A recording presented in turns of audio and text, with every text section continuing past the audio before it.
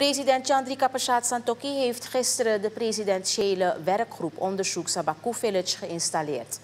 De groep is ingesteld voor de duur van zes maanden en wordt voorgezeten door Humphrey Chinlipshi, adviseur van de president.